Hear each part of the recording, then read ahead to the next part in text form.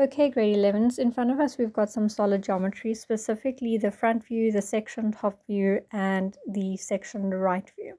So I made this in the last video, so if you want to watch that, please do. But what I'm going to be doing now is showing you a model that will help you to see these views using a model.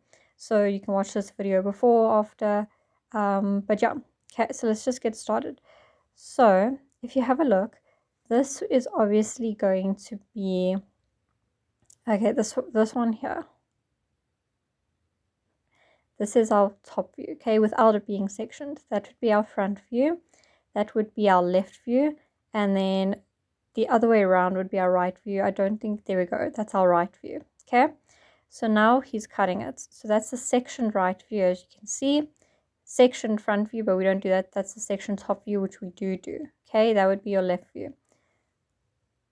Okay, so obviously in this video we're only doing um, the right view, front view and top view. We obviously don't section the front view, but it was just to give you a little bit of an example.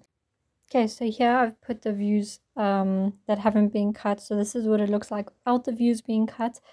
So I hope that kind of helped you. Now we're going to put it as it gets cut.